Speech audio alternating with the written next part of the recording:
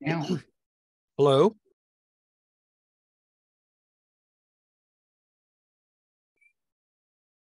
Like we got Art locked up, huh? Uh, I don't know. He's in a little box. Must not have his video. I don't know. I don't. uh, It just says he's joining. Oh, okay. Maybe he hadn't accepted the recording yet. I don't know.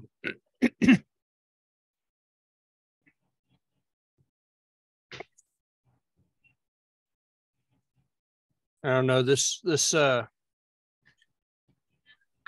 I think I'm going to have to uninstall Zoom on my computer and reinstall it.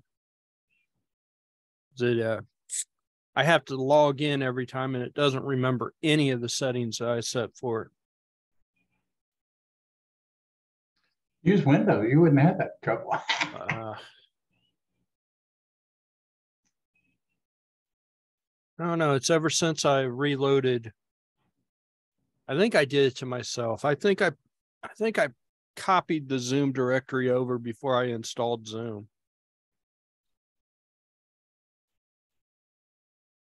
So I think I did it to myself.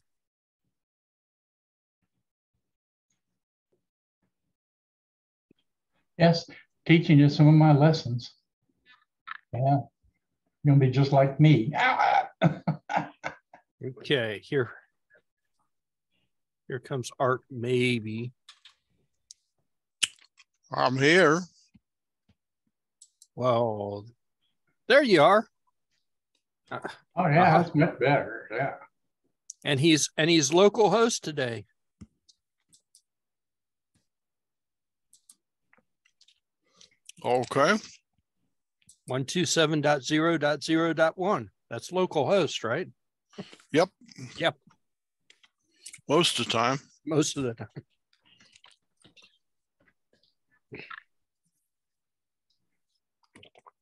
Of course, your shirt says there's no place like one two seven dot zero dot zero dot one, which would mean home. Okay. There's a meeting schedule. March first two, first two Thursdays in March, first two Thursdays in April. We're all scheduled up. Okay. Researchers tapped into the world's largest sink of CO2 for carbon capture. That would be the ocean. They're- They're coming out with ways of getting CO2 out of the ocean. Yeah, that's that's an art assignment. Read that and explain it to us in English. Looks like they have some sort of membrane they're looking at uh, capturing the CO2 out of the ocean and putting the carbon depositing the carbon in this ocean somewhere or something. Usually they put it in the mantle in the uh, area underneath the ocean, Oh, okay. but um,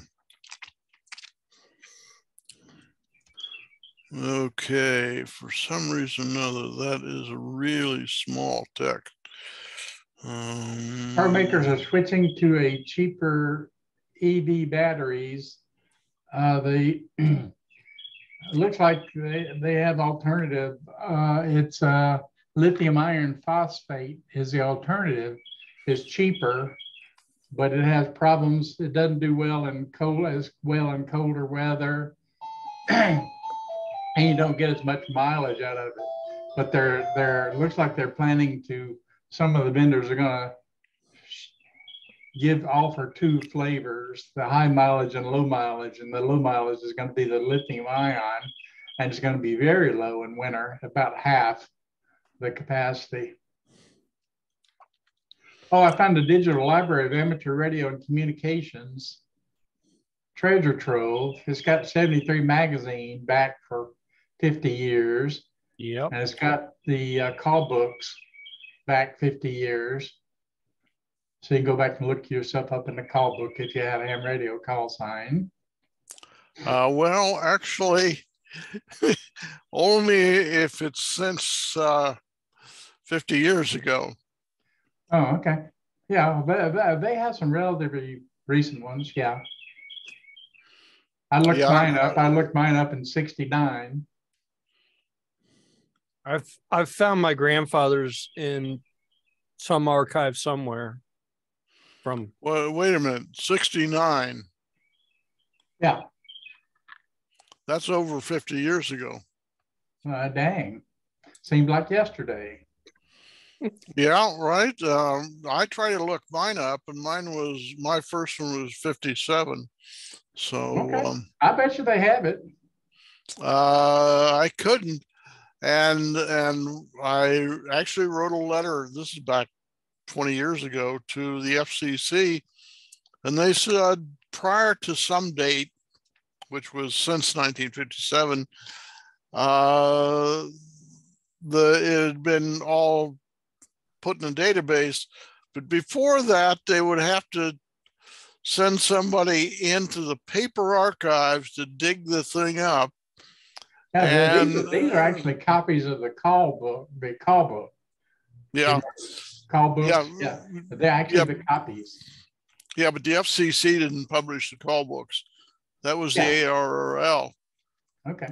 Well, So, at any rate, what the FCC says was before, I don't know, some date, it was some date in the 60s, late 60s, uh, you were just SOL, so to speak. They put it more politely than that, but bas- basically, so um, for a while I was uh, searching on eBay because people tend to sell old call books on eBay. They get pretty good price for them.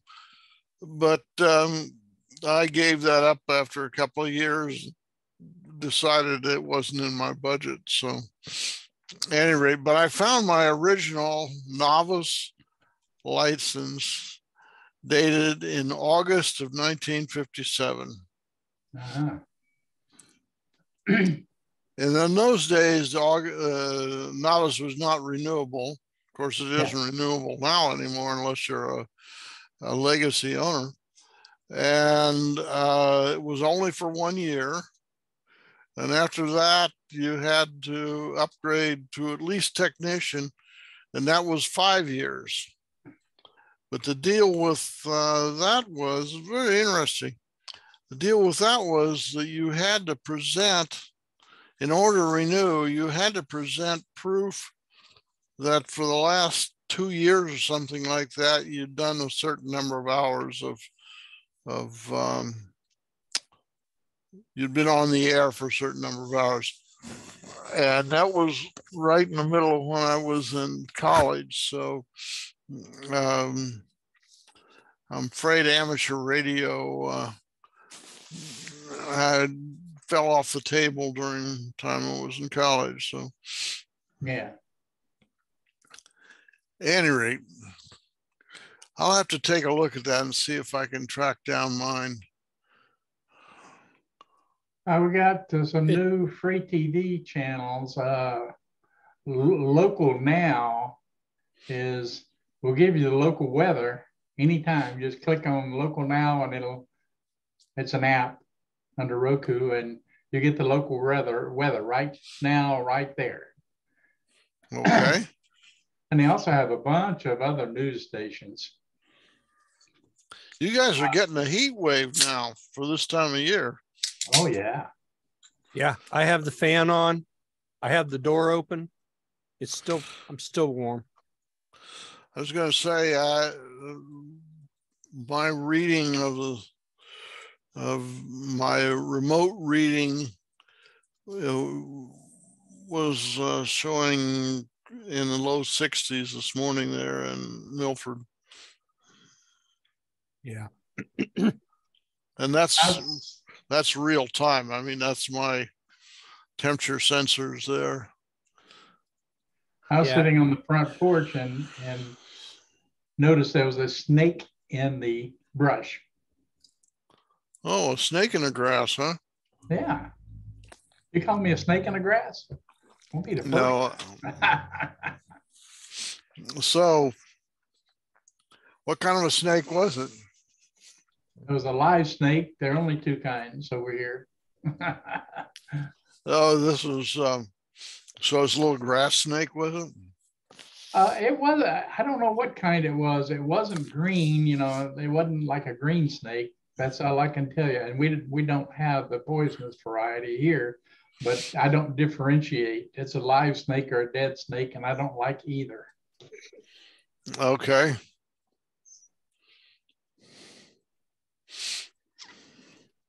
So he got to have the front porch by himself.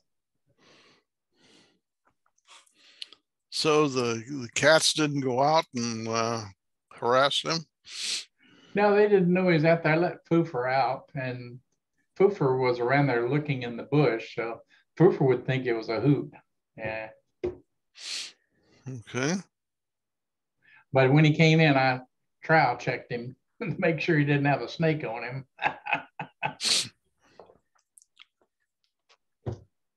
that super Foofer is not adverse to bringing in a chipmunk or whatever he happened to have handy.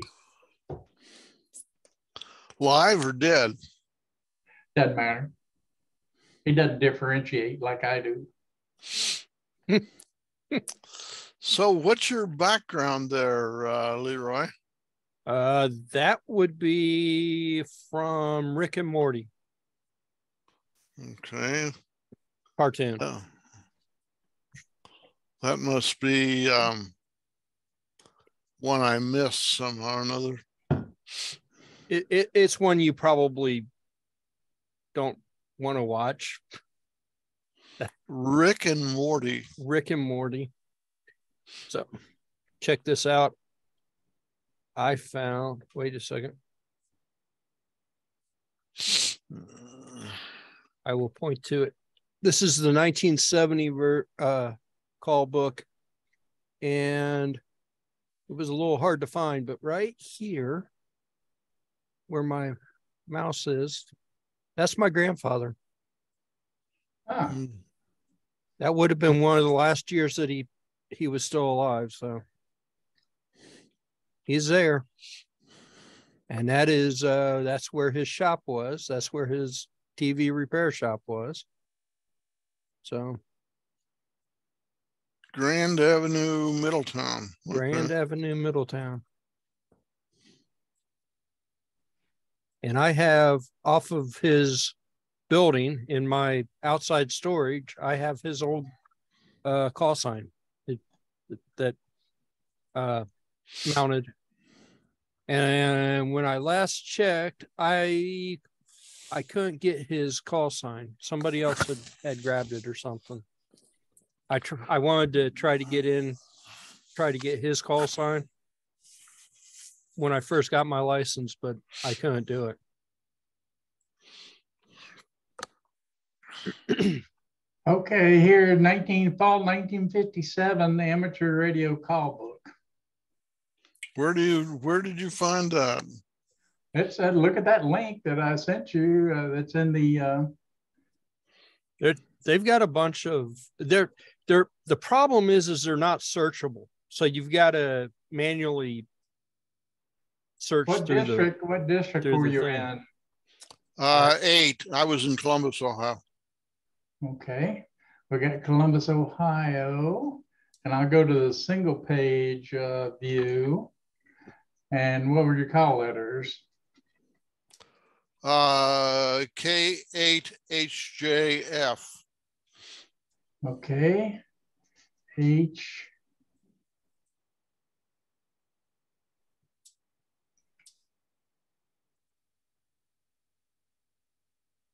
Okay. K H F G H H J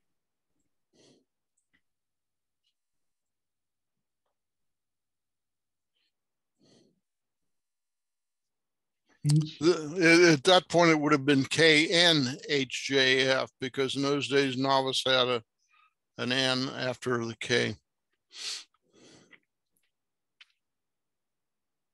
HJ, okay, yeah, there's no F. HJC, uh, there wasn't a W8 arcade. Okay, so, and they didn't have the WNs. That's a fall of uh, 57, so maybe it's earlier than that.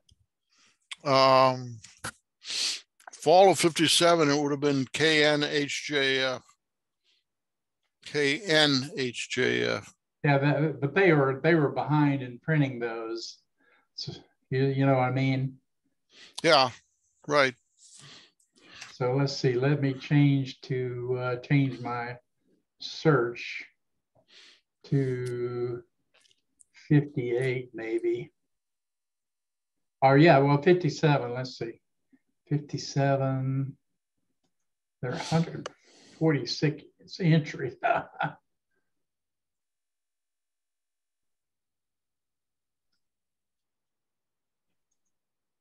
Nineteen fifty. You're you're in the 58, but I but it doesn't say anything. I'm in the 58. Yeah.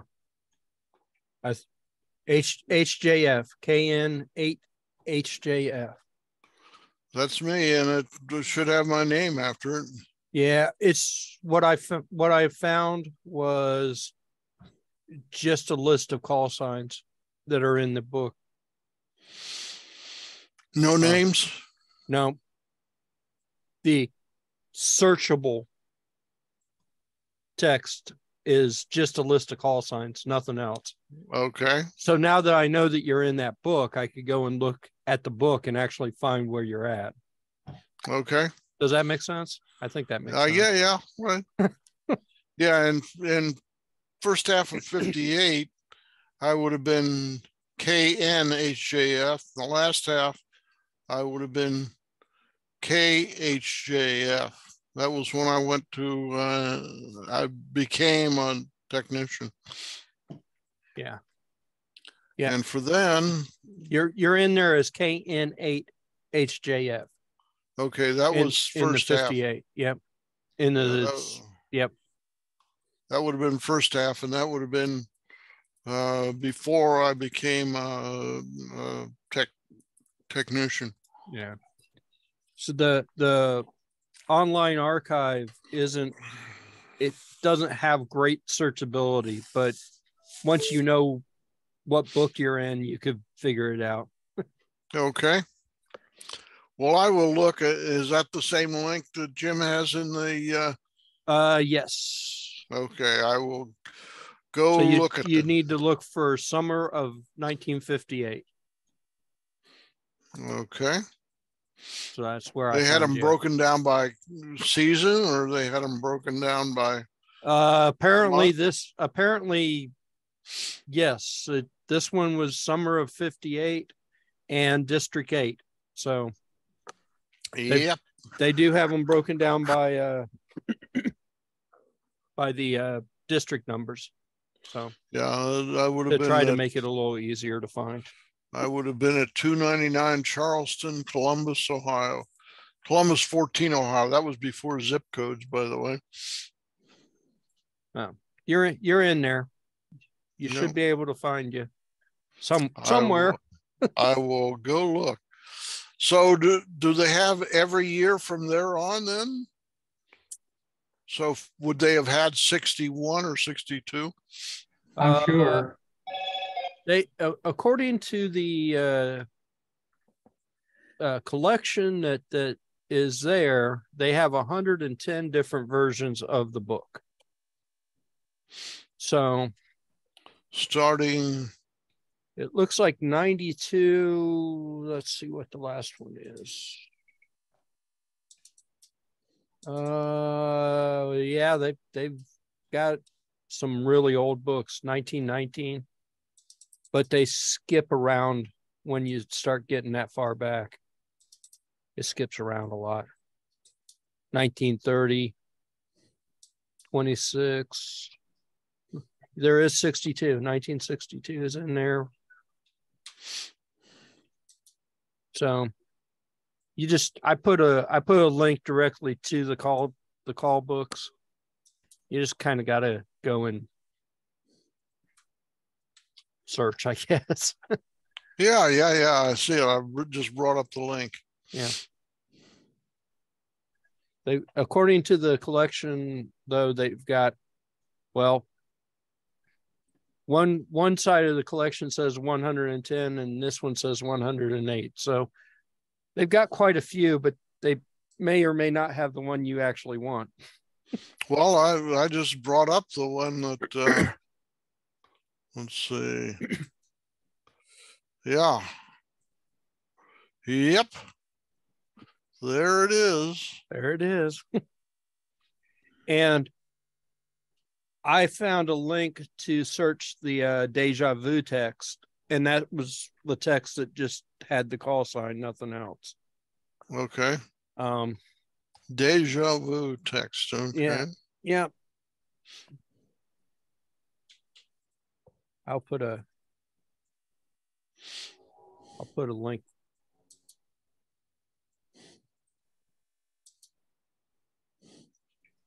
I like I said, Internet Archive, it's not it's they uh it's not quite as easy to to search inside the text as we want it to be. But you can find it sometimes. Okay. Oh yeah. Oh, this is um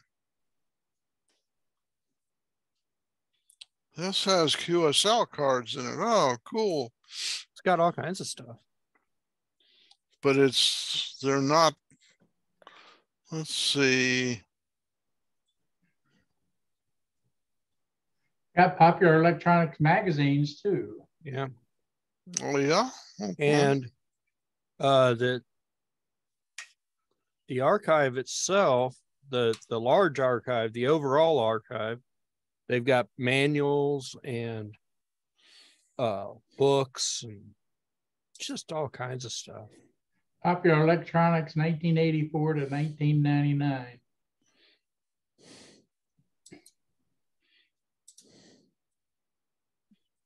Hmm. Gritty Journal. Uh, uh, QST from 1915 to 2014. Linux in the Ham Shack, 494 items. That's a podcast. Oh, Yeah. Hmm.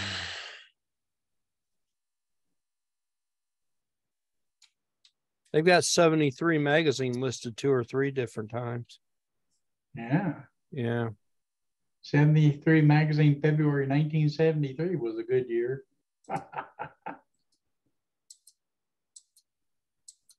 you will you will reiterate that if you see it. Okay.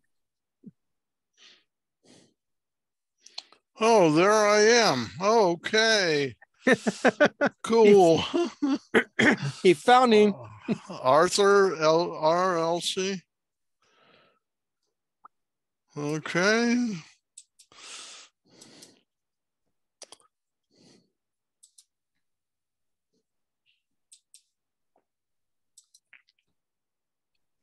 Navy radio files. Huh. Yeah, I, I was I was kind of there's five thousand and some odd Navy radio files. I'm a little curious about what all's in that. Yesu Library. That should have manuals and stuff. No, Vicente is logging in. Let's see. see if I can bring this up. I just pasted something into the. Oh, there you go. There you are. There I am. 299 Charleston Avenue, Columbus, Ohio. Hmm.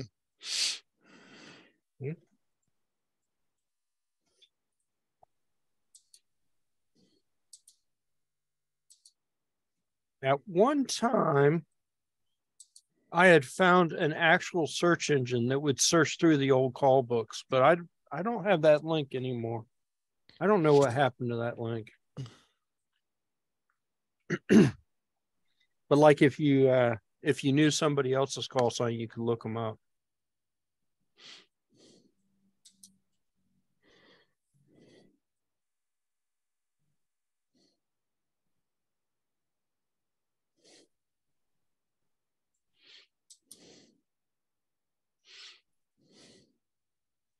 Did the sound just die? No, I can hear you. Okay. Well, let's, I just did a screenshot of that. Let's see if I can, if I manage to capture it. Hi, Vicente. Uh, hi.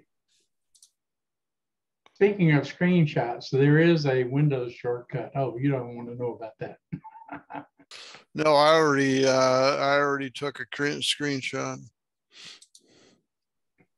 Screenshot. Yeah. Punch. I like. I, I like your- Actually, your name, please. actually, I, what I'm using now, uh, on, uh, Ubuntu twenty-two point zero four is something called Kazam. K A Z A M. Oh, that makes sense. Screenshot would be Kazam. Yeah, that's that's the Linux way. Yeah. Well, they used to have a direct screenshot built into Linux, but after 2020, 2020 04, 20.04, that was no longer there. And so I found this Kazam thing and it works It- just as well.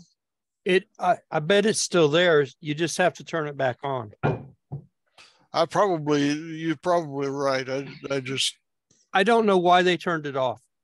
It drove me nuts too, and I had to I had to go into uh something. I don't even remember what it was. And turn it back on. And then the shortcut key was wrong to it. So I had to remap the shortcut key to to actually get it to work. So well, it may it may be turned on and the shortcut keys mapped wrong. Just like Could it was be. with me. Could be. It's it's almost like um I I absolutely absolutely hate this new calculator.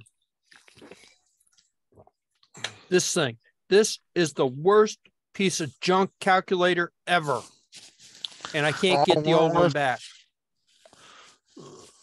That is, um, that sets the bar fairly high there.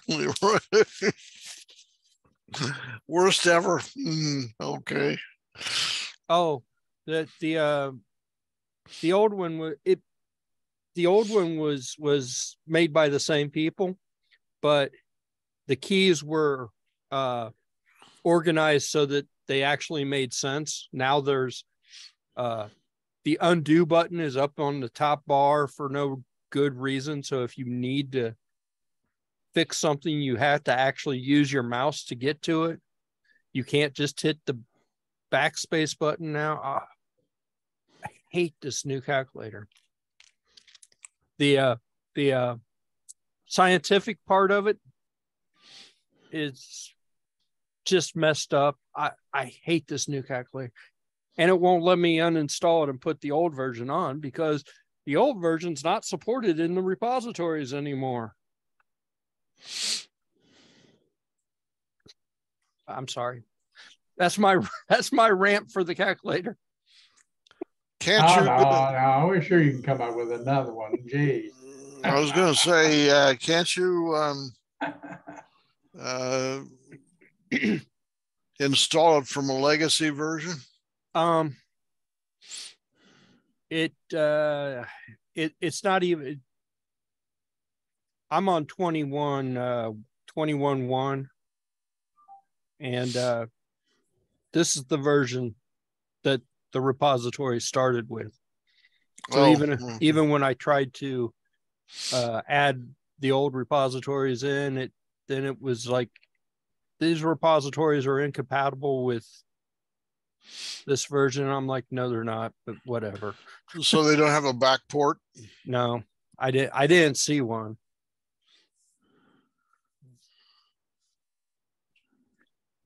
but I was I was like, this this new calculator just seems like it's changed just for the sake of changing, just to make It's it got a worse. lot of features on it, man. Look at all those buttons, man. yeah, but they're all in the wrong spot. And they're almost forcing you to use the mouse. You used to be able to just use the 10 key on the side of the on your keyboard and do everything you needed to do. You know, the clear button, everything. It was all right there, but worst calculator ever. And that's the one they that comes stock with the thing. If anybody knows a good replacement calculator, I'd be happy to to ditch this thing and get a different one. Windows has got one. No, actually, you know, my the calculator on my phone, which is not all that great, is better than than this piece of Uh, Well, is the calculator on your phone just a four function or is it have log and analog Um, and tan and so forth and so on? I, I'm I'm pretty sure it's a scientific calculator. I think I've got I think I have to turn that all that on. Okay. Yeah, I've got I've got tangent and oh You are, Do, do it again. we're looking right through you there. yeah, it's I, I gotta turn it on if I want to use the scientific part, but it's all there. And it's Okay. in a format that's actually kind of makes sense.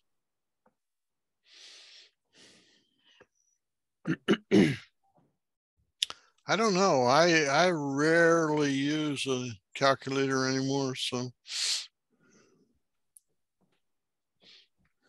I play a lot of those math games, and sometimes they get complicated enough that you kind of have to organize your your thoughts.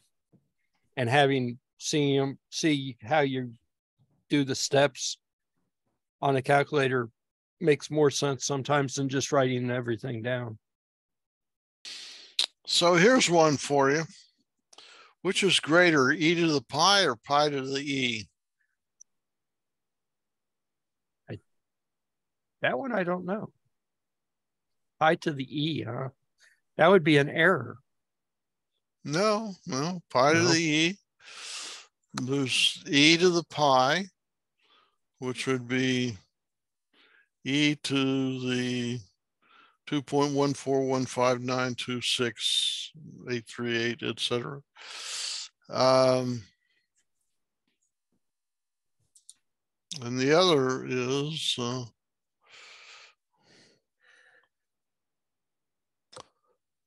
pi 2.14, et cetera, to the e, which is the base of the natural of the natural logarithms. Okay.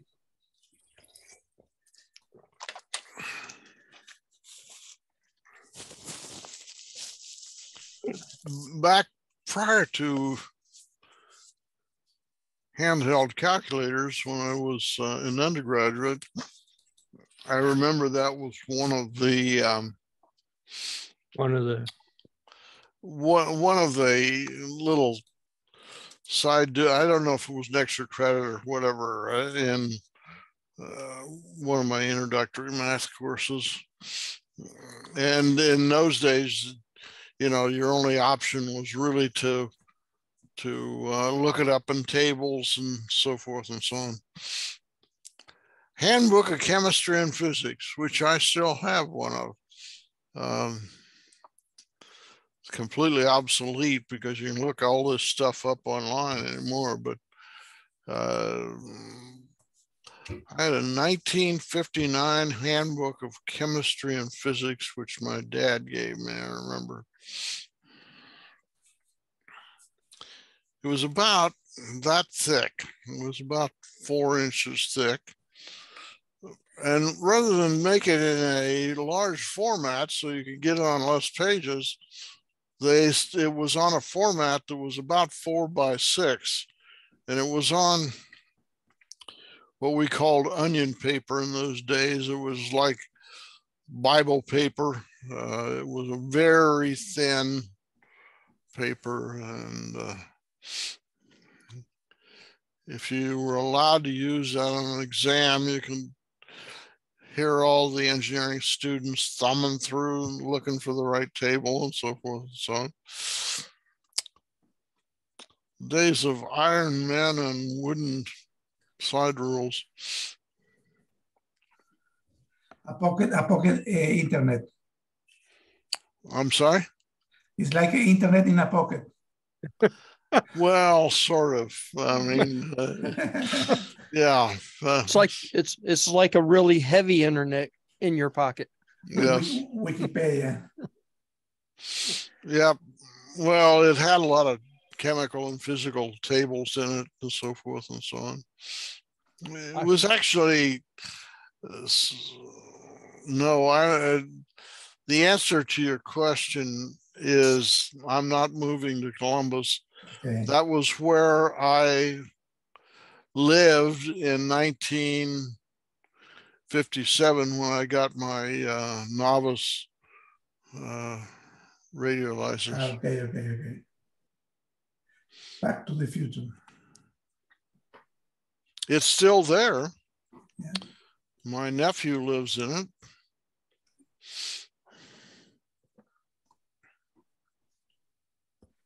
I, I like I like your background, uh, Leroy.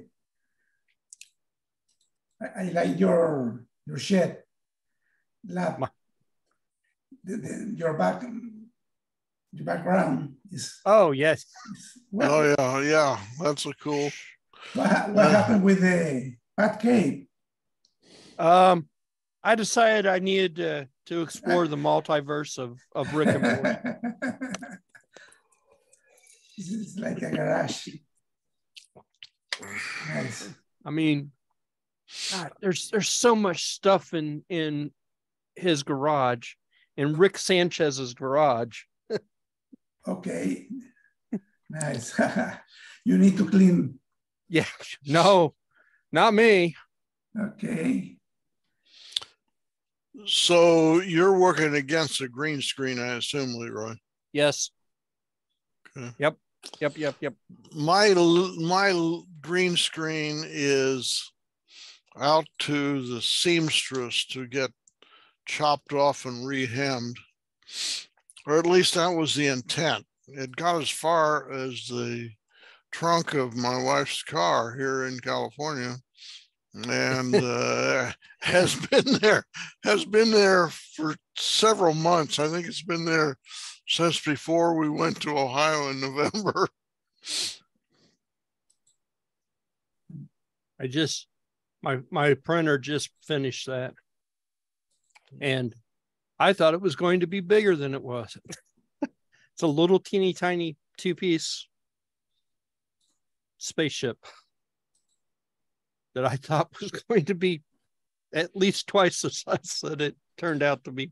Mm-hmm. His two piece. Yeah, got to glue it together.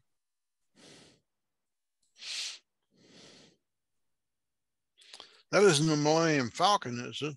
Nope, that's the USS Defiant from uh, Star Trek Deep Space Nine. Oh, okay. and I'm glad I printed it in green and didn't waste my gray. I don't have very much gray left, knowing that is this small.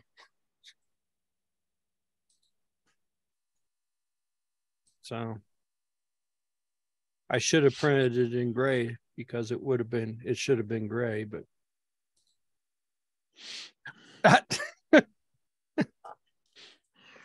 You're in my universe. Okay. Hey, there's a there's a Roomba back there too. I didn't I didn't even see the Roomba. Oh, there is. Yeah. Well, at Yeah. least it looks like a Roomba Yeah. and a robot head. There's a robot head. And uh our clocks are different. Time. They look the same. Yeah, they Yeah, they they, they are in a mirror. Mirror. from from from our perspective, Yeah. the the image that I'm Is it- on is mirrored. Now when I play it back, it will be right, but but it's mirrored right now. Okay.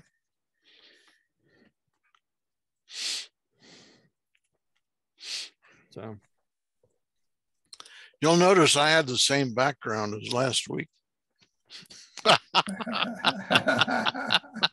uh,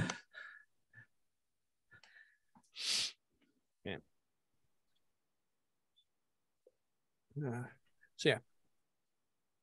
I knew me and Vicente think a lot alike.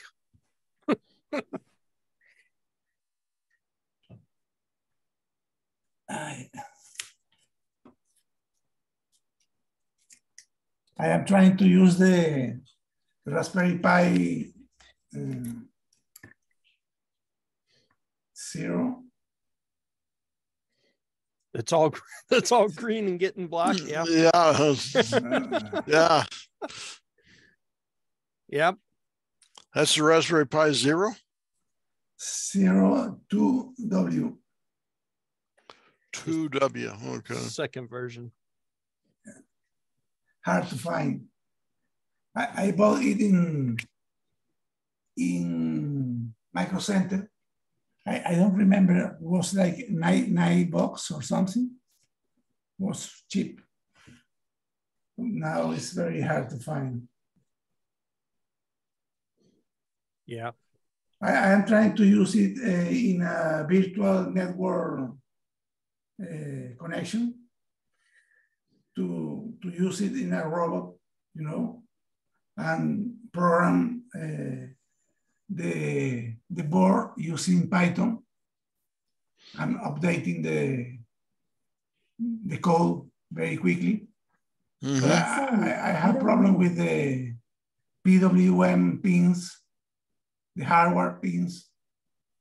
Uh, I am trying to find a library or something to, you only, you only have two PWM controllers in the board.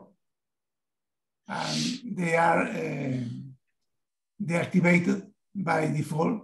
So you need to, in the init system, you need to activate the, the channels. And then you need a library to use them. But uh, I, I, I was working with the Raspberry Pi Zero with a Python 2.7 or something.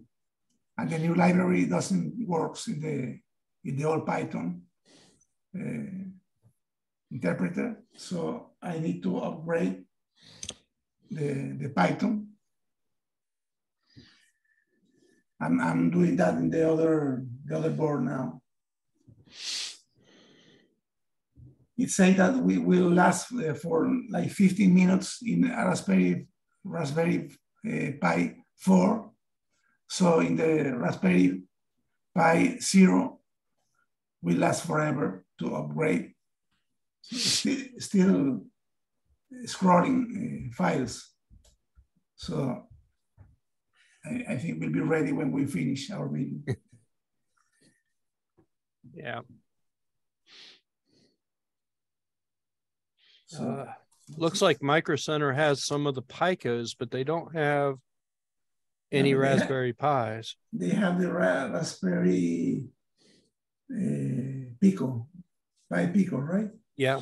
That's what it looks like. They've got the the Picos. Uh, Very, very Picos. good, very good price, right? Um looks like six bucks. This is the W, the, the That- that's- That's the W, yeah. This is the the cheapest thing that they have now. Six bucks for the uh Pico W and four bucks for just the Pico and five dollars if you want to have the header headers already on it. Okay. So they're charging you an extra buck Yeah. to put headers. to put headers on it. Probably have some guy sitting in the back room there with a soldering iron. I, uh, now the Raspberry Foundation already sent them with Yeah. and without pins.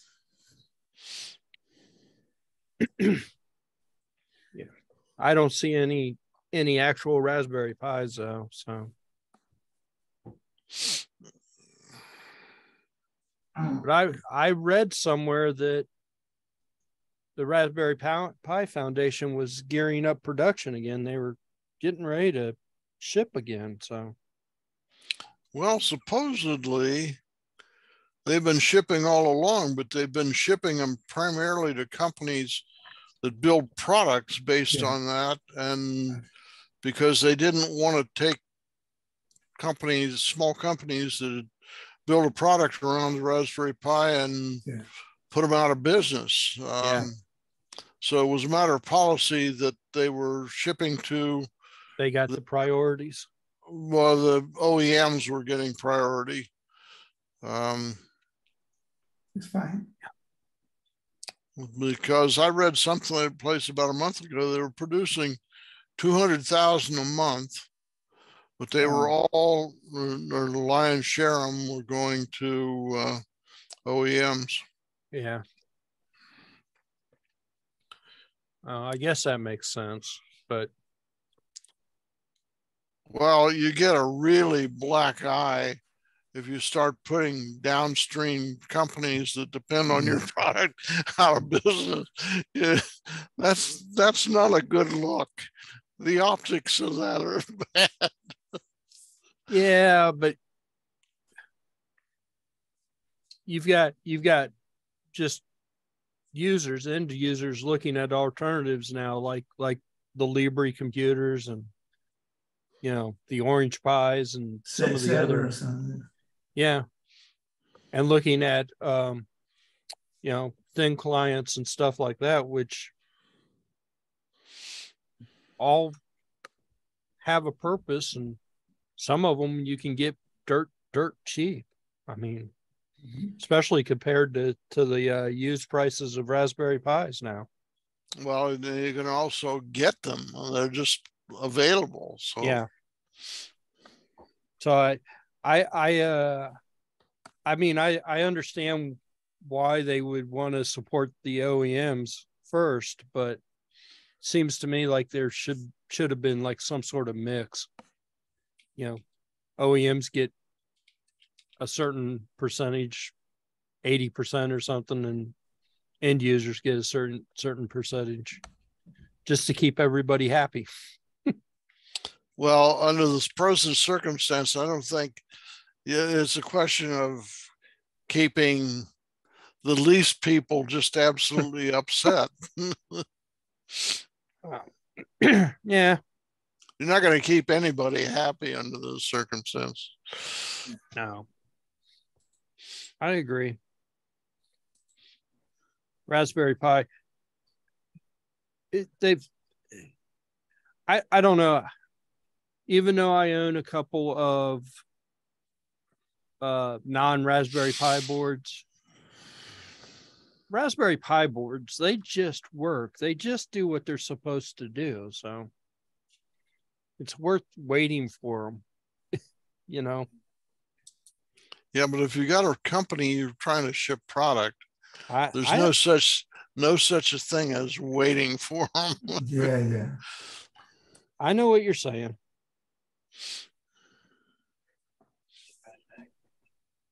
But as a y- end user, it's it's worth waiting for the Raspberry Pis, I think, because they work.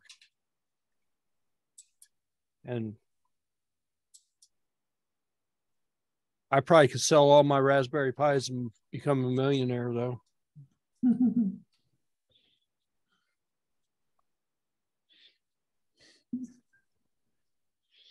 in eBay, you, you can find uh, the Raspberry Pi Zero W for 50 bucks, Yeah, that's Yes. nuts. 10, 10, 10 times what you pay for it. Yeah. That's crazy. That's crazy though. I, I have a lot of, of, of them. Well, I mean, maybe six or seven. I have one Raspberry Pi 4, three Raspberry, Raspberry Pi 3, and know, maybe some of them also inside boxes with different projects already yeah. wired. Yeah, I've got oh, two or three Raspberry Pi 2s, a bunch of Raspberry Pi 3s, and I think four Raspberry Pi 4s, and a whole bunch of zeros yeah. and zero Ws.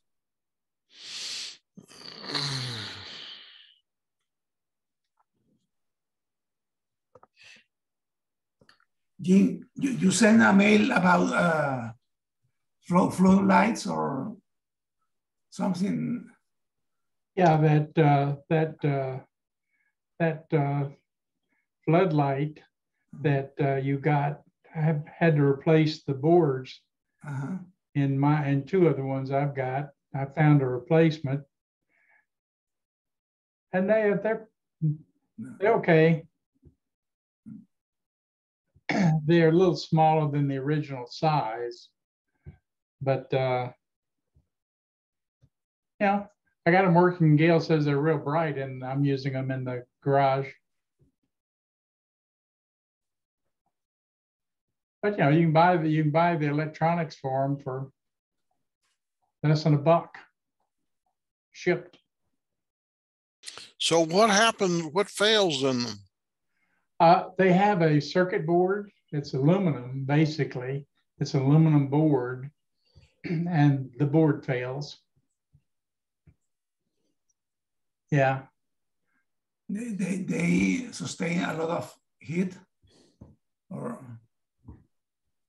I mean, it's, it's very hot, the, the, the lamp when it's on. yeah. And they get they get they they get too hot, Yeah.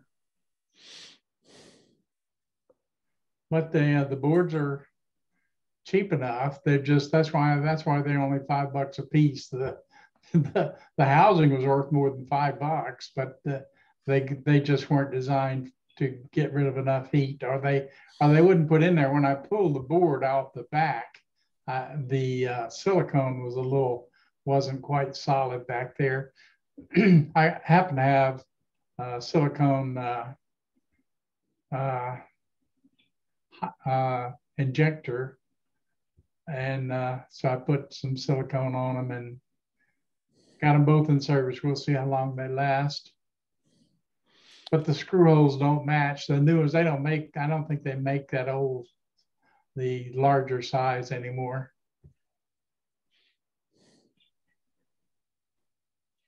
But it was it was cute. You, I was kind of surprised I could find the boards. Uh, they they they're just a board, and you uh, you connect 120 to it, and you're good to go. And the the housing that we had had the uh, photo eye built in, and the photo eye handles 120 volts, and you just wire the photo eye in, and you're good to go, just like new. Hmm.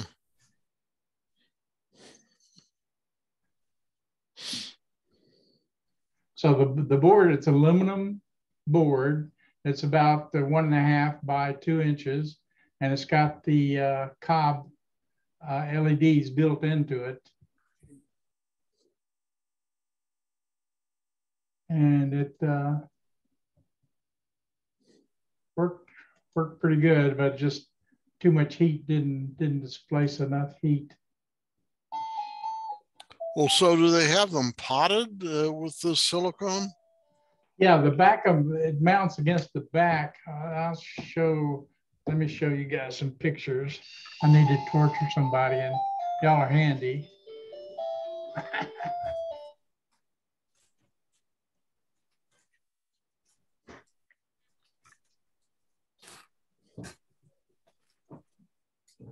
and that's what it looks like.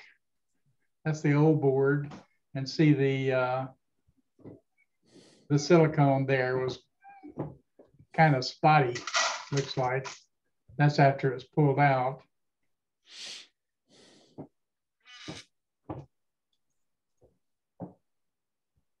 There's a wiring. Uh, there's there's hot and there's neutral. And there's a, a, a junction box for your photocells to wire through. That's just a junction place. The new ones didn't have that. Oops, there's a truck. There's a truck. That truck shouldn't be there. Yeah, I ratted him out. Well, there's a there's the run up in Eaton, Ohio. It was over the weekend. There's the uh, the new boards. I broke them apart. They have L and they have N. They don't have that neutral neutral point there. That's uh So there's 24 LEDs. Looks like it. That one's definitely got 24. Four, four by six.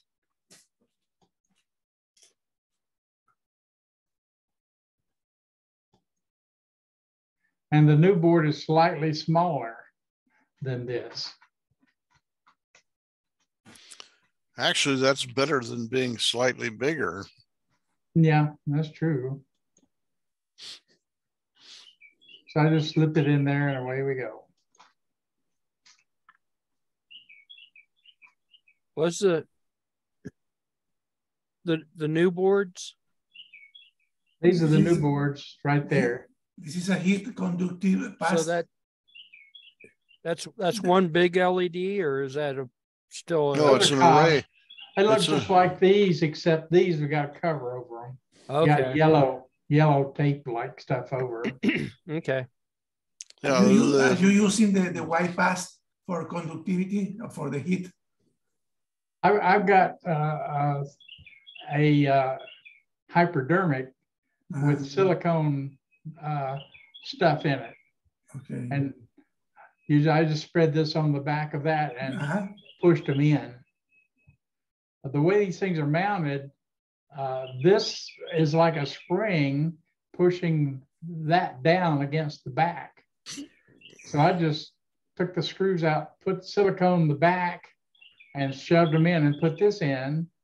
It has a uh, looks like neoprene rubber thing here. Put that in there, and that pushes, puts force in it against the back of it. I don't know how long it's going to last before it destroys itself, but uh, got to go. This is this actually switches 120 volts right there, and works great.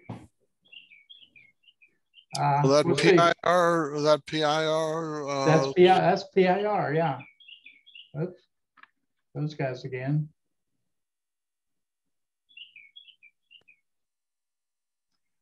Yeah, it works. It's it's pretty good. Both of them are are, I mean, almost exactly identical as far as the field of view for this. It works good. It works good. PIR, that PIR is is good. That's a common uh, PIR device there. You'll find that on a lot of their stuff these days. But that switch is 120, does a good job. And I got five bucks for the whole thing. and lasted a couple of years. till, till I had to replace this.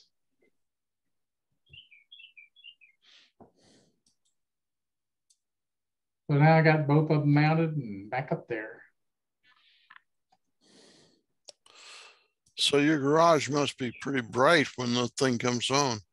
Oh, this it's not the only thing that comes on. I've got the the the garage door opener that comes on when anyone's in there, and then I've got two 100 watt equivalent regular bulbs at the front of the garage, and now these two on the side on both sides. So yeah, you're well lit up when you get in my garage.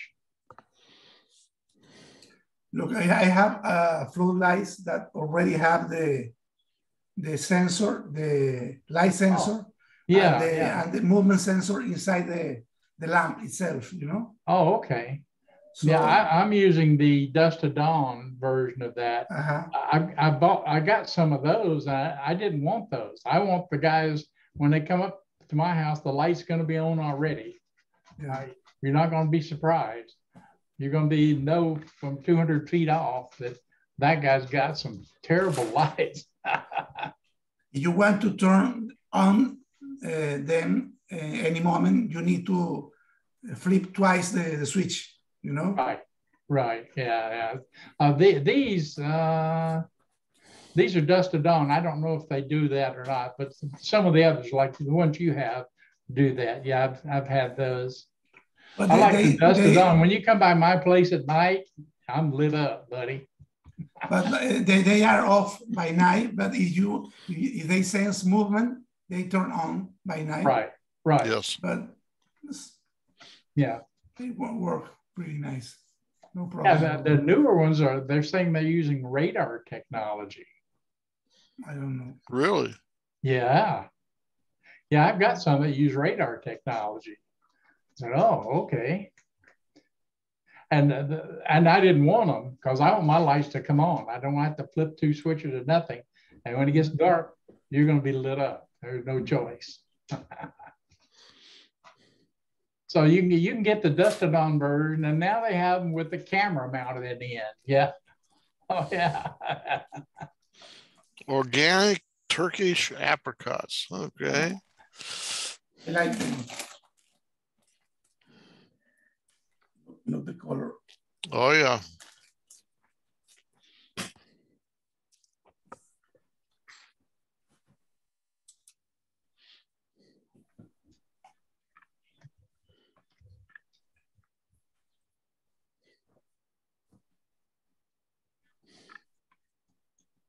So do you share those with the dog or, or he only gets peanuts?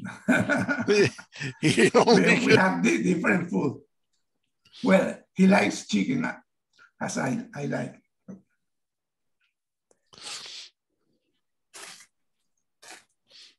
Actually, he, he eat anything, you know. Well, And this is sit to be fit on your local PBS station. oh, yeah.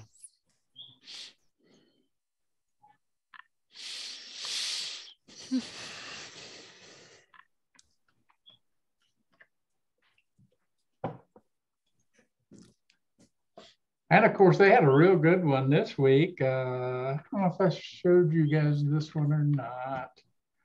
I need you guys need a little torture work going here. This is on the in the desert. These are desert flowers. Beautiful. oh. Oh, That's, that's not a green screen?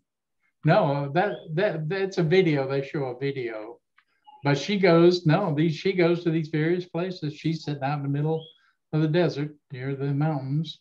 It's not a, green screen or is real. Yeah, she's sitting there. It's real. Yeah, she- Okay. yeah, yeah. She's she was sitting there in Hawaii on the rocks, and one of the waves come up and splashed her one time. no, she wasn't on. She wasn't green screen. She was there, buddy. So this is on every morning, nine thirty. This is yoga, like like yoga or, or Now this is Happy Yoga is the name of the program. uh, stretching. Yeah, and they have uh, the other one, Sit to Be Fit. Uh, uh, that's a good one. That's a sit. That's a sitting down one. But Happy Yoga and then Sit to Be Fit comes on on uh, sixteen three. Uh, depending on if you listen to Dayton, it'll be fourteen something if you listen out of Cincinnati. But those are good. Geezers need to be doing that, and I went through. That's about my getting up down, so I come down here and I can't avoid it. It's on TV. Dead it. But you need to you need to improve. Watch out for your flexibility. You need it. I need I need it. Yeah. You you are pretty busy. You're always doing something, Vicente. Yeah, yeah, always.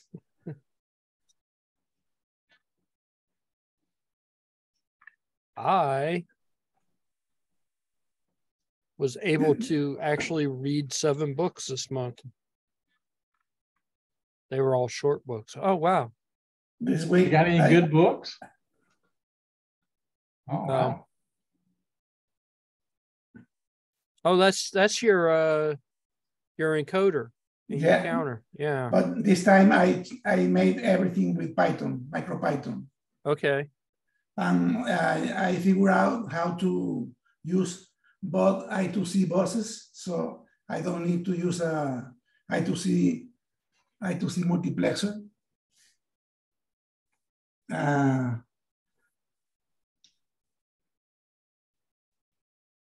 to, to, to use this controller here, you need four PWM signals to move the motors, you know? But there is another controller that you only need two uh, PWM because you have two pins to choose direction. And the PWM is always the same pin, you know? So I bought in Amazon this, the board that use just two PWM for the two motors. It's like the speed pin, the speed, and the other two pins are direction and brake, braking, uh, short brake or something like that when you put the same value in, in both, both pins. Um, the idea is to, to use the, the Raspberry Pi uh, Zero to control uh, uh, two encoders, to, to read two encoders, and to control two motors, and, and use the, your computer to, to design your program and make the robot, the robot just move. I'm working in a, in a, in a code to make the robot go straight, doing some kind of differential driving.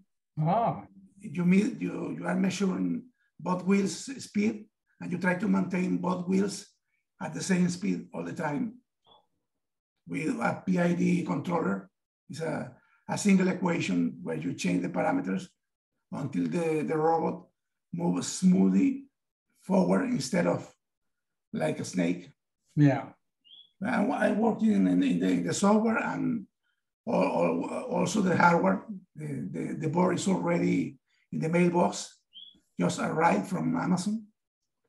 Those, those controllers are uh, three for uh, 12, 12, uh, 12 bucks. Three boards, but in Amazon, but in, in AliExpress, they cost two bucks each. Because it's cheap. But uh, there are no much uh, uh, motor drivers that use this concept of uh, a pin for speed and a pin for direction, you know? So this, this, this chip has this uh, characteristic. I, I will try to use it. Maybe the next week we'll see how it's going. What what motor driver are you using right now?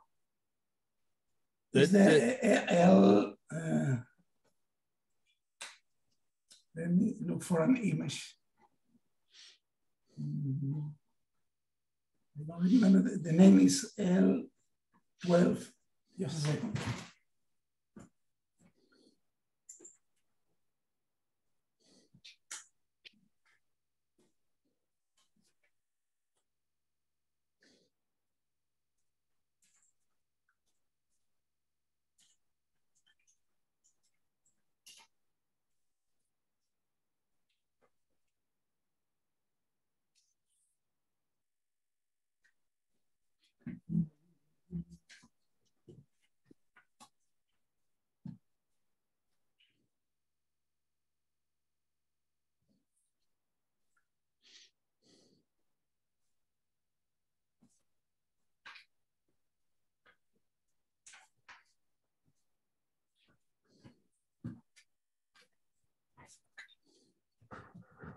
The other computer is sleeping. Windows is, is, is still sleeping, doesn't, doesn't wake up the, the desktop. Let me check in the, in the web. Uh, Is it is it that one? no, No. Okay. This uh, it's a tiny one. Mm.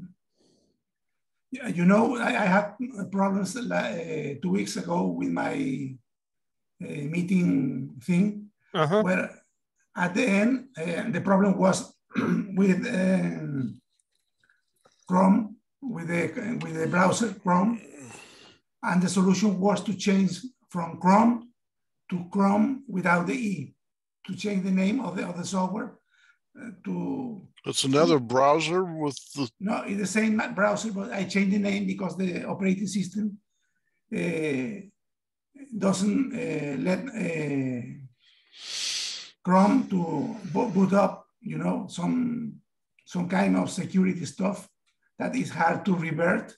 So you need to change the name of your software to really uh, to use it.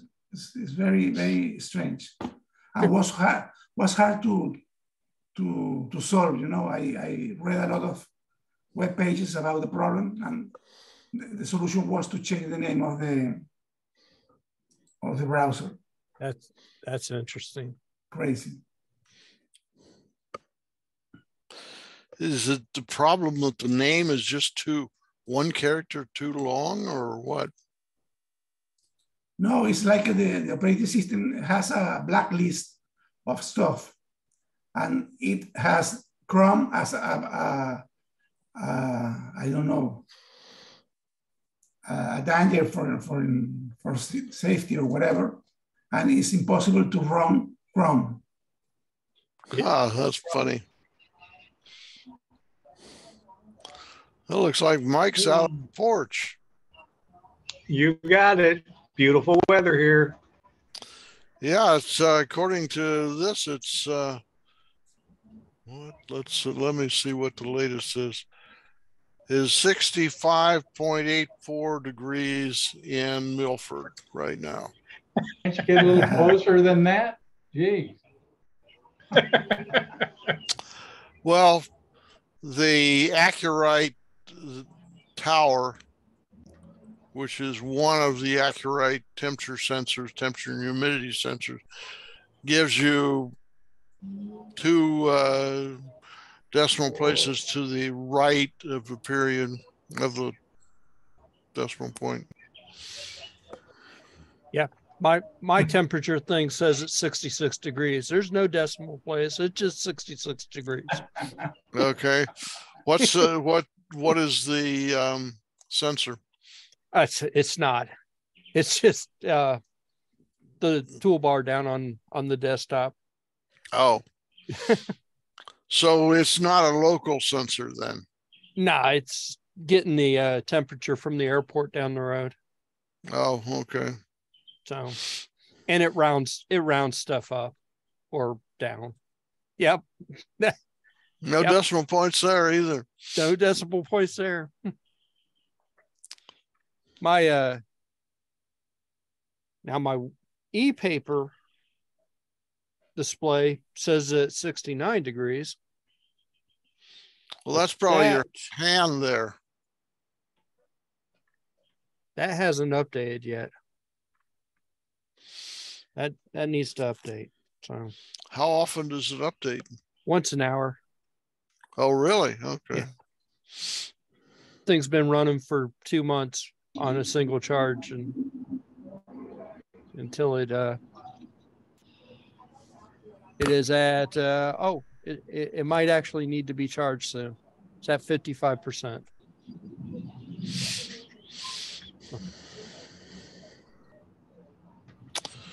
Well, these AcuRite uh, temperature humidity sensors um, use two double A cells, and I haven't had one have to have the double A cells replaced, except for one that I had outside. And the problem is the temperature outside goes low enough.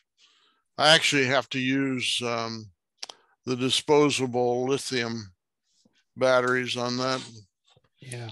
because the alkaline energy, uh, you get down to, I don't know, around zero Fahrenheit, and they don't like that too much. No, They will suck the energy right out of them. Well, I don't know if that's recoverable or not. In other words, I think it's just the chemical process slows down to the point that it won't keep the thing running. I don't know. My uh my doorbell camera, I had alkalines in it over the winter. And once it was dead, it was dead. I couldn't Really? yeah, Oh, okay. didn't even last it probably lasted two weeks, but once it died, it was that that was it. And it warmed up enough where you would have thought that if it was going to recover, it should have recovered. So, have you tried putting uh, the disposable lithium ion in that or not? No, but that's probably a good idea. Because they ta tend to be a little less temperature sensitive. It's probably a good idea. I'll have to check. I guess you can get those as uh double A, double A size. Oh yeah, you can get those in all the standard double A, triple A, nine volt, etc. Yeah. Now, be Yeah, that's good to know because yeah, I have problem with my um, motion sensors on my over over my garage door. When there's motion, it turns on the uh, the lights in the front yard, and I just put, you know, they take double A batteries, and boy, it gets cold, they die, and yeah, never come back. Never come back. Yeah, the the lithium uh, ions. However, be prepared for a little sticker shock. They are expensive. But but they They- they last longer than than uh alkalides too though, right? uh, that they do, So but uh, not long enough to uh, offset the di- cost differential. okay. yeah, they are they are expensive, but they they are much less temperature sensitive.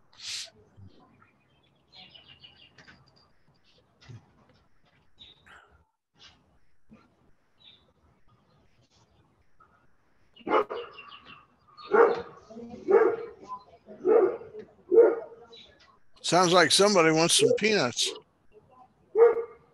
Or, or is No, that no, your- no, it's not here. Oh, that's my that's my neighbor's dog. Oh, okay. Yeah, a little too loud outside.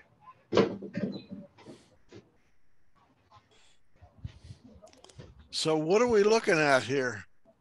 What will the earth look like after all the ice uh, has we asked the melted? people surveyed, what should lawmakers do? Should they raise the federal debt ceiling to deal with the deficit? Look at this. What? Only half of Americans said yes, but we know that that is absolutely critical. To the Somebody's listening to, to television. Not me.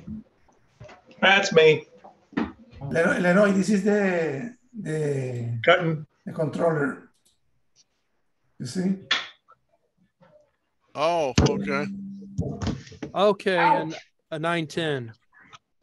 Yeah, those are those are funky little controllers, aren't they? Yeah, Yeah. Has 10 pieces for 25 bucks. Exactly. Yeah. That's not a bad deal. Yeah. The they're uh You can buy one for 127 in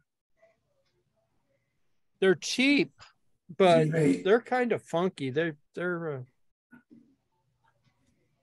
Well, they, they uh, maximum voltage is one, 1.2 volts, uh, one- 1.2 amperes uh, current. Uh, it's for small motors, you know, and the range of the voltage is until 12 volts or so. Right. can- it's low voltage, low uh, drop uh, drop all voltage also. So uh, they they work cold. You don't need a heatsink, but it's for small motors, small robots. But it's okay for the TT motor, the, the one I am using. But this isn't the actual one. I, I, I am waiting for the new one from Amazon, but I am browsing with another browser. So I, I don't understand how it works. It's very strange. Home is the search is weird.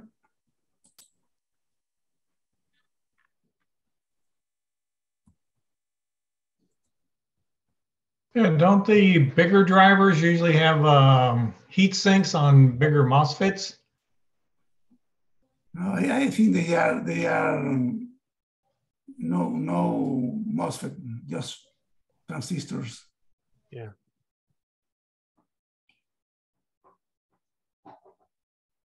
Bipolar transistors. Uh,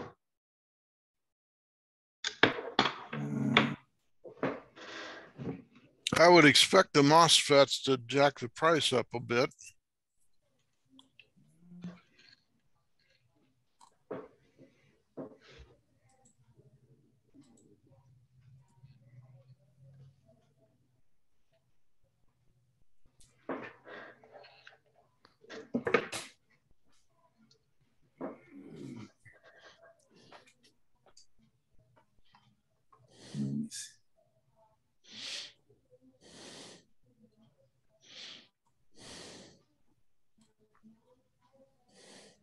Don't see the. Let me look for the, the code of the, the board I am talking about.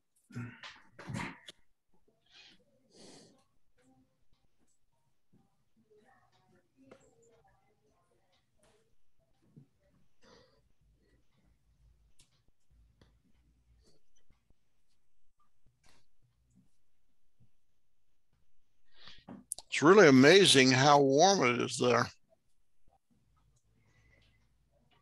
Yeah, I was out on my bike yesterday, pedaling around. I, I could I could live with February being this warm all year long, or Ohio All being this year warm all the- all year long, Okay. all the Yeah, like time, they say. all the time, every year. But then they say you, you couldn't afford to live here. yeah, it's true. So what's your background? You look like you're in France, maybe. Whose studio is that? That is Rick and Morty. Oh, That's Rick Sanchez's garage. yep. I I see my new background has generated all kinds of interest. Everybody asks. I'm back. Okay.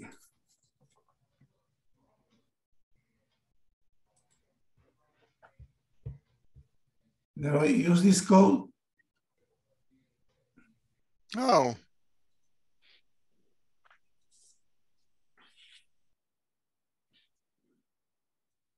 What is this? TV six six.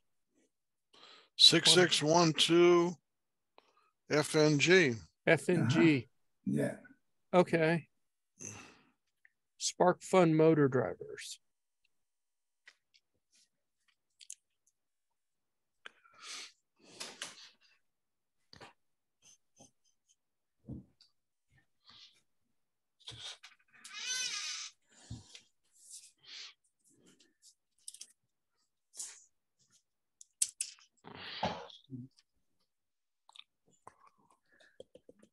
Oh, I think I've used a couple of these.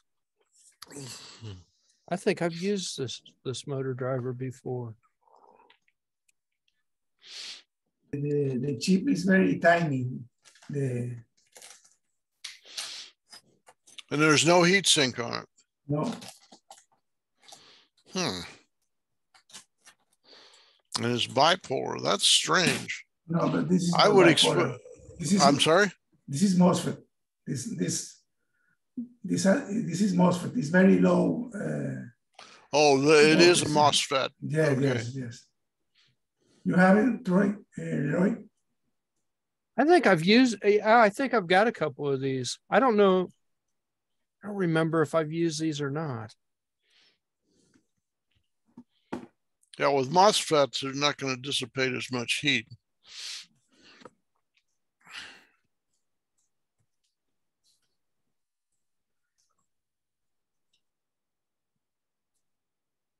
Yeah, it's the same.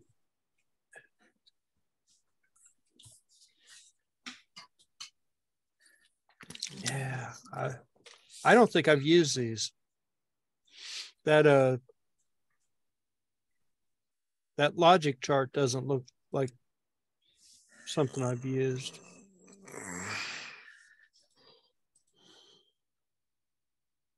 I have used the other ones, the the 910s, 9110s, or whatever those things are. Those are kind of funky. screen. You, you see, the, you, you can drive uh, two motors. A A01, A02 is a motor. hmm BO, BO1 and BO2 is another motor. Okay, this is the ground and the motor voltage here. This VCC is the logic, logic uh, voltage of the chip. So here you have two PWM signals, A here at the top and B here close to the ground. So uh, you put here the speed of the motor, and then you use these two pins to decide uh, the duration of two uh, of each bridge uh, driver. This is like a like an the, the PWM signal uh, works like an an enable signal that turns on and off all the all the all the driver. So you can decide uh, how the, the current moves in the, in, the, in the motor, in what direction. You put both pins in the same value, you force the motor to stop because you create a short in the, in the motor. So there is an active way of stop the motor. If you have problems with inertia, you can stop the motor with this chip. And uh, the price of this thing, mm,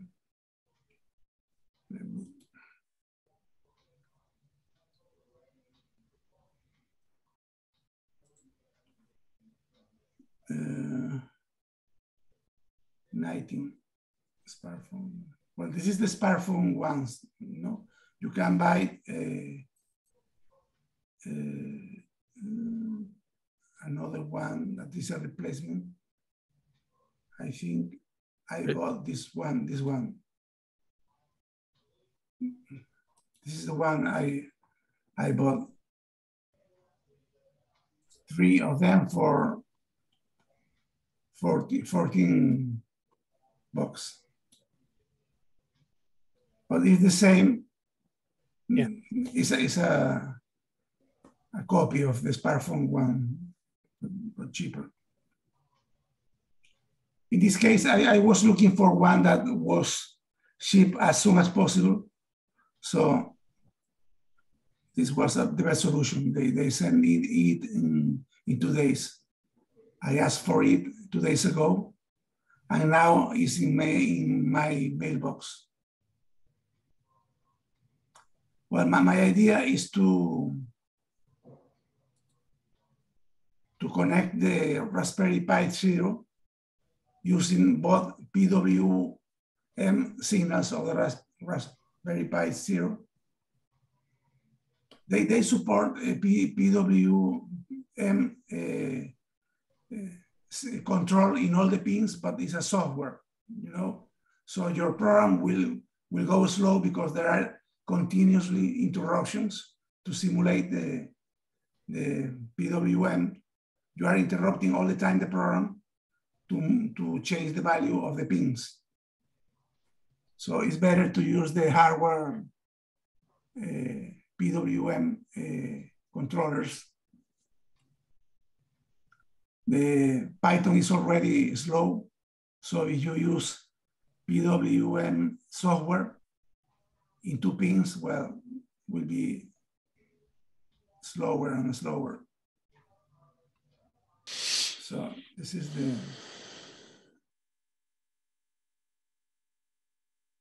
Seems to me like I've used these motor drivers before on something. Maybe maybe one of the robots I bought has has these.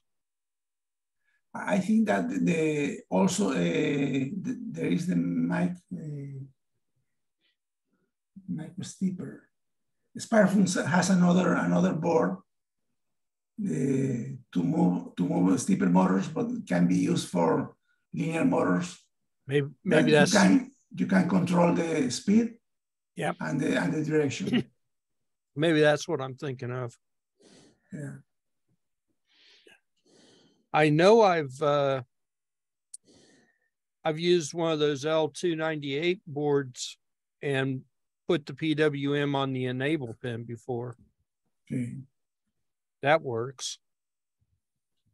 But I don't I don't I don't really remember this truth table or this logic table. Well, I, I, I was uh, studying the, the table and uh, I don't understand how it works, but I, I saw several uh, code uh, examples and it's, it's just one direction, Uh-huh. it's uh, one zero, and the other direction is zero one. Yeah. And the PWM define the speed, so there is Yeah. no no signs there. So Yeah. There is an, another states that it is break and do nothing with the other combination of the pins, but the table is not clear for me. I, I don't see the, the functionality clear there, but supposedly it works. Yeah. See, I thought I thought you were uh wanting to only use uh four pins total, but you're using six pins. Yeah. Yeah. This is the, the, the actual uh, board I am using. Mm-hmm. I, I don't know where is my finger. There, here. There- are two H-bridge drivers. So you, you want to modulate the speed, you need to switch right or left uh, signal. So that's why you need four PWM signals. You, you want to go in both directions. Yeah. Well, next week I will show how, how the new driver works. But I, I hope to have my full road assembled and, and play with the virtual network uh, connection from my desktop or my laptop. Ne- next week we have a in-person meeting or not? Yeah, In-person? yeah. Yep. next So- week is in person. So I I will bring my, my laptop to the meeting and Wait a minute, wait a minute. Next week is the The thirty, okay, yeah, right. There's only twenty-eight days in February. yeah. Try to add a couple more days. It's it's all right. Yeah, I I was obviously being innumerate, so. So next week is the second, okay, so. So. March will go in like a lamb and out like a lion, is that what's gonna happen? what? There was an old saying, March comes in like a lamb, goes out like a lion, or vice versa. So if the first day of March is is very cold, then the last day of March will be warm and pleasant. Well, you never know. Uh, But if we have good weather going into March, that means the winter is going to persist. It's kind of like one of those things like, what is the guy name of the groundhog? Punxsutawney Phil, Phil. Yeah, right. yeah, we I, I think we still will be another snow snowing day. I think. Another six weeks of winter. If if Punxsutawney, what is it? Which way is it? If he sees his shadow, I, I think he, he died. There is a new one now. Oh, he croaks. Mhm. they they they have to replace him every La- last year. Few years anyway. Yeah. Somebody decided a groundhog was good to eat. groundhogs don't last forever. They have to replace him every now and then anyway. Yes, yes.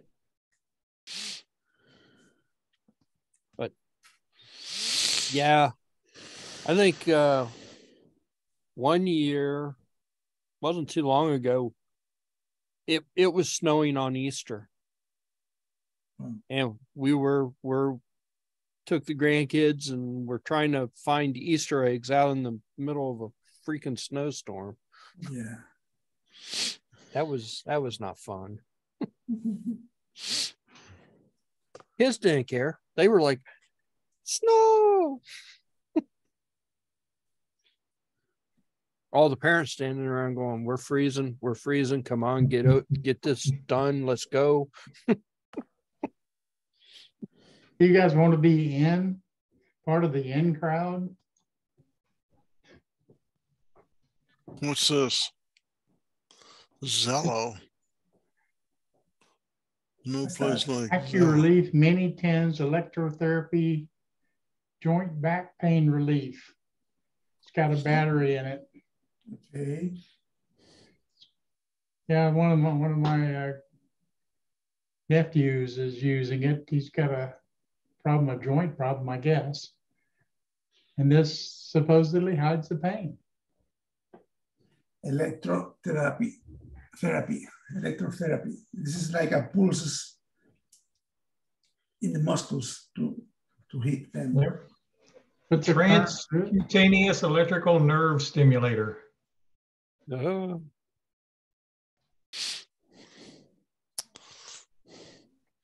That sounds like snake oil to me. Yeah. Oh, it sounds like NASA. Yeah. Oh, yeah. Send you to outer space. Yeah. Yeah. A lot of our group's are already spacey, so we'll be right at home. There you go. Hmm. That's what it looks like. Hmm. So where do you put the electrodes? I assume you put them around your elbow in this case, if you're going to use it on your elbow. Okay. Let's pull it out, see what it looks like.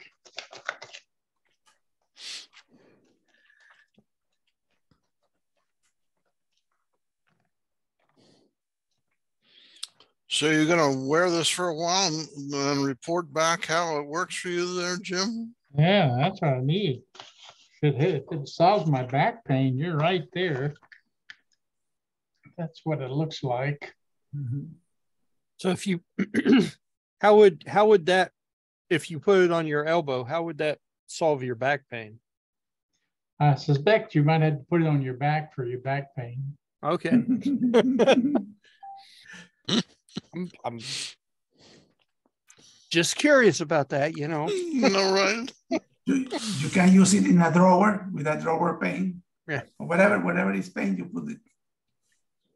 I got a headache. Can I put it there? I would put one on each eyelid and. Yeah, there you go. And you're, Put it around your neck and see if it fixes uh, Gail's pain in the neck. Yeah, I don't know. oh man. She's got one for me, but it plugs in the wall. I'm a little suspicious of that, you know. She's saying she's saving on batteries. I don't know.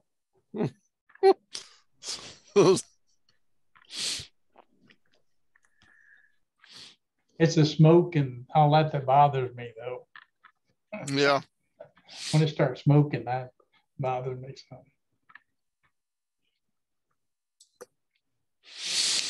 Hmm. So be aware, I'll try it. For- for that. If if we don't see you next uh next week, we'll know that it uh, failed miserably. Mm, Yeah, well, I got a hip that's going out on me, so I need to try it on that hip. It's, oh yeah, that'd be a miracle. when you say it's going out on you, what does that mean? Well, you know, people lose their hip, they have hip replacements. I've got, Oh, yeah. yeah. So I, but I've maintained, I managed to maintain my knees. They were going at one time. Now it's the hip. I'm hoping I can maintain it. I've got ma- magic potions that I use to maintain my knees. I'm gonna try my hip next.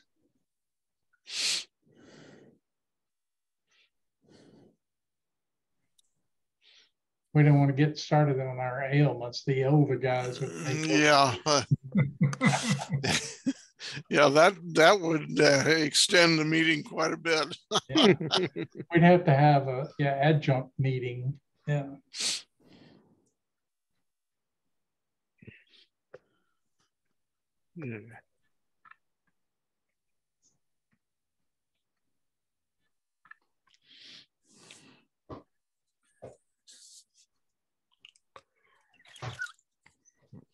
Uh, see, Vicente op- uh, updated his background. Yeah, Yeah. we're in the same universe. I stole it from Roy. See, see you in the mirror. In the mirror. Yeah, everybody's changing to an alternate universe here. Yeah.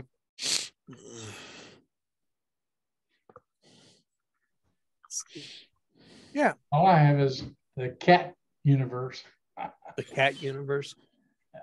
It it finally updated, but it says 67 now. And my computer still says it's 66, so they're pretty close. Close enough for government work.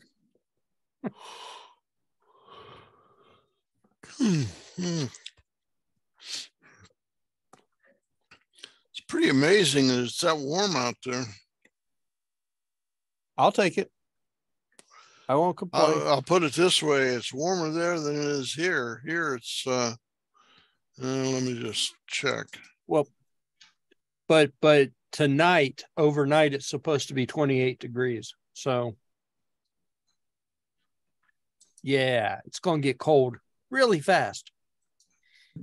and we're going to have to close the doors and turn the heat back on.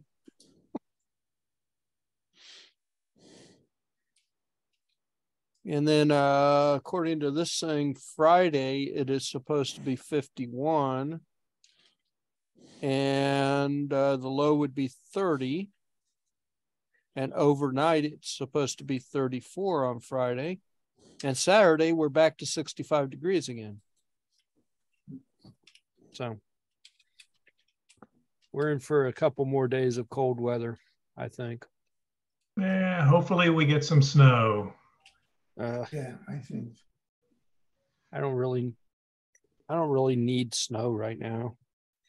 The grandkids would like it. Yeah, there's hills to slide down. Yeah.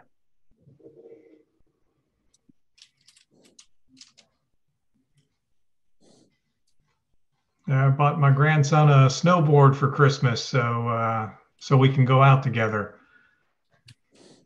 There you go.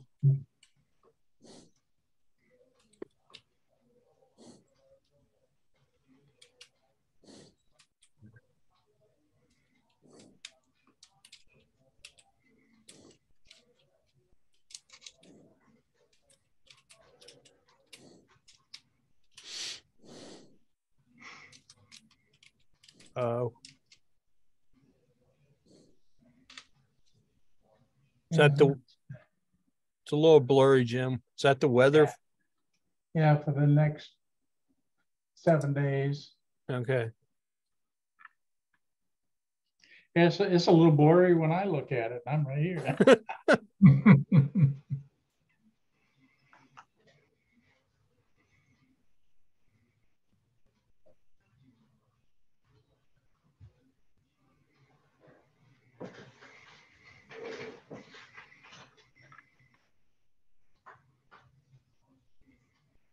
Yeah, I went uh, looking at something to order from China. Of course, their prices are always great, but there was a disclaimer on the bottom that warned me that there could be potential extra handling charges, What? and they weren't willing to disclose what that could be. And I noticed one of the items I saw on AliExpress uh, shipped from Moscow. I'm like, oh, that'll be good. Yeah. I think one of the people from one of those guys from the three letter agencies might show up at your door. I decided not to buy it, you know.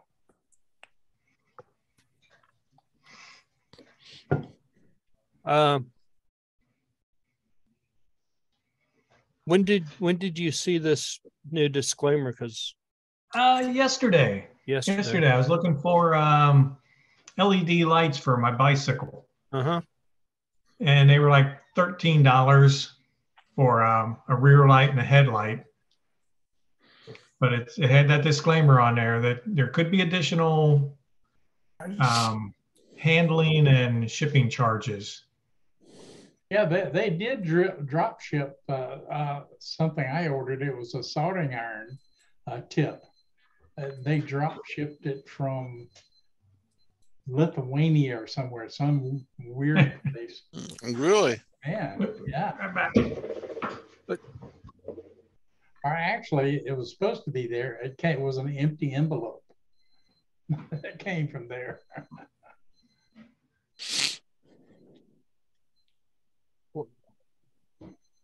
I wonder if they're talking about taxes though, or uh, Tariffs. tariffs. Yeah. which is taxable for them. Yeah, if, Yeah. if China and uh, start sending weapons to Russia, uh, could be very interesting situations evolve from that. Because I suspect they would shut down purchases. Yeah. Hmm. Well, we have interesting things going on. Yeah. Interesting is a euphemism for Ouch.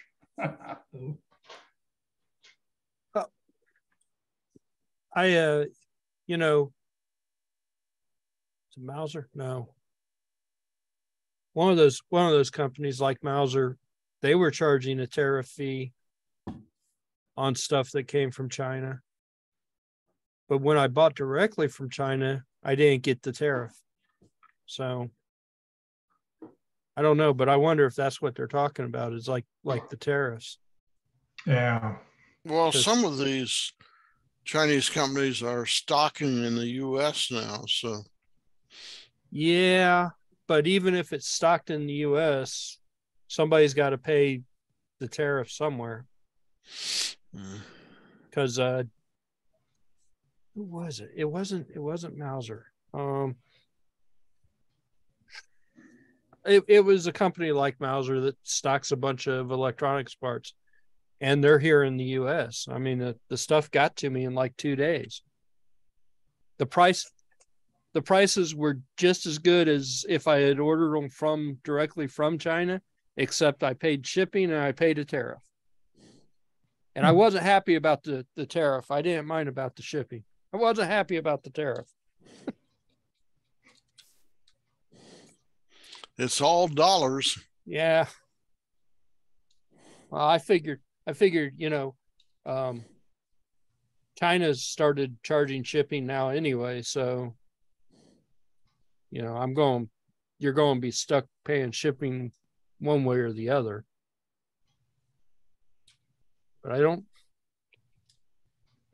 I don't know. I don't know what what they would be talking about. Those little boards that I shipped for the floodlights, though there was no shipping on those. They were less than a buck a piece, and there was no shipping. Yeah. So they did the packet deal, the small item, I'm sure is came in an envelope like thing. But I paid like two bucks. And boom.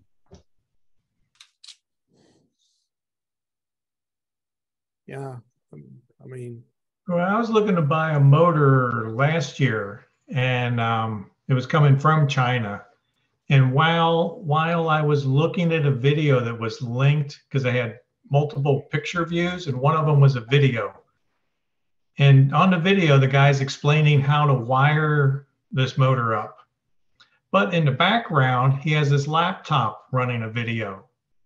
And the laptop is displaying that if you say you want to order it through our German warehouse, it will come from our Chinese warehouse, but you won't pay the tariffs. There you go. And I thought, that's pretty shady.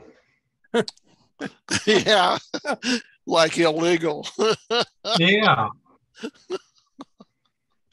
Pretty shady. it's uh, it's coming. It's coming uh, to you via Germany, but it's really coming from China. I actually had a package. I didn't tell them to ship it this way. They just shipped it like that, and it came via DHL, and it did actually show up as a track trackable item out of Germany. Oh, okay. And maybe they were trying to get around the tariffs. I don't know. It could be they just have a warehouse there. That's all. If they do a lot of business in Germany, they might have a stocking warehouse. Sure. Yeah, that's a good idea. Yeah, but I I thought it was kind of interesting because I did or I ordered something, and it was a, you know, clearly a Chinese company, and the tracking number said DHL, and it's Luxembourg or somewhere. It, it is what it- Luxembourg? I think so. It was some. Luxembourg isn't in Germany. Where's that? Where, That's a where's different Luxembourg? country. Where's Luxembourg? Luxembourg is a country. It's right next to Venezuela. Okay. Well, Oh yeah. it sound it sounded German. Luxembourg. I don't know. I think that's where it said it was coming from, though. And it was DHL. And it took, I don't know, it didn't take very long to get here.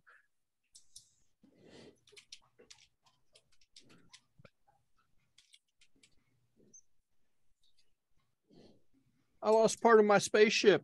I dropped it on the floor. I can't find it now. but that was uh that was before covid happened so that was when all the all the tariff stuff was really really going on big time anyway so maybe they were trying to get around co- uh, tariffs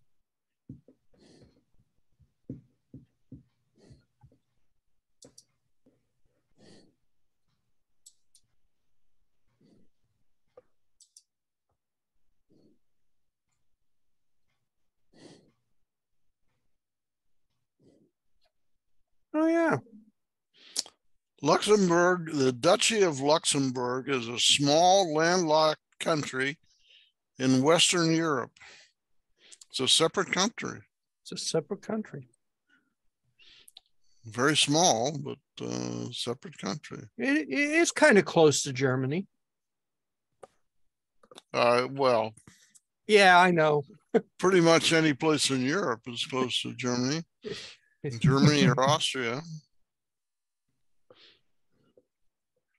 That's that's kind of interesting. So I'm pretty sure that's where it said it was coming from. I don't know. I I got that years ago, so it could have been coming from anywhere. I just thought it was interesting because I don't usually order stuff from Europe because it costs too much to do that. Well, if they're trying to balance their inventory between countries, you know, could be you got a special deal. Yeah.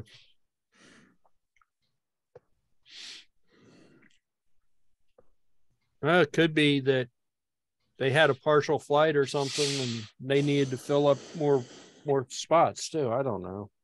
Who knows? Who knows what they were doing? All right. It is about three till. So Yep. Is in this time zone too. you, uh, amazing how that works. you guys want to want to call it, and we'll see everybody next week. No, come, come think of it, there is a country that is on a half hour. Um, Uh, um, Mumbai is. Yeah. yeah, somebody hacked my, um, Honeywell thermostat. And I, I couldn't get around the hack. And I found out that it's like, yeah, they got into Honeywell site and told everybody else's thermostats that they were on Mumbai time. so you're always a half hour off. Really screwed it up. Yeah, we used to have contractors. When I was at Kaiser, we had subcontractors in, uh, um, I guess that's Western India. And it was a pain because we always had to adjust the time in order to uh, have meetings. This was before Zoom. And uh, yeah. Or you'd have to stay up well past normal going to bedtime so you could have a conversation with your partners halfway across Well, the yeah, world. I mean, uh, that, that's true. Anytime, uh, you're multiple time zones away.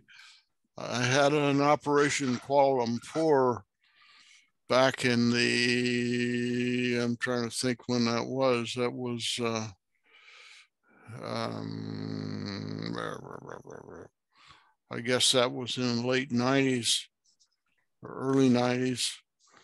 And they were pretty close to 12 hours out of sync. Mhm. And those guys love to call me at three o'clock in the morning and talk about the most trivial problem you could. I think they were doing it for entertainment.